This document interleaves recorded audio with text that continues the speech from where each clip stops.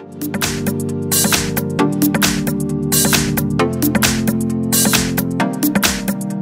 I've got Huawei Honor 20 and let me show you how to change date and time on the following device.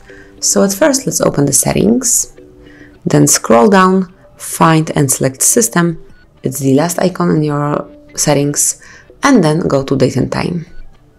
Here you should select if you would like to have date, time and time zone set automatically or if you would like to switch it off. If so, simply tap on the switcher and then select date, time and also time zone manually by yourself. As you can see, you've got plenty possibilities here. And finally, you can also change the format of your clock, so you can either have 24 hour format time or you can switch it off, sorry, it will be like that, and then have 12 hour format clock. So it's up to you, whichever you prefer, whichever you want to have, simply select it and enjoy them. Then you can also display two clocks when you are away from the home time zone and this is this option. And also you can select your home city over there.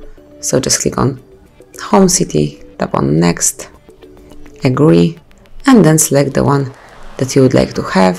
So in my case it will be Sacramento and from now on if you will be somewhere else you will have two clocks one with your hometown hometown and then the second one with the current location so that's it if you would like to go back to default settings sim simply click on automatic one more time to have automatic date, time and time zone back. Also you can change the format of your clock back to 12 hour format clock and you can switch off dual clocks. So that is all. Thank you for watching. Please subscribe our channel and leave the thumbs up.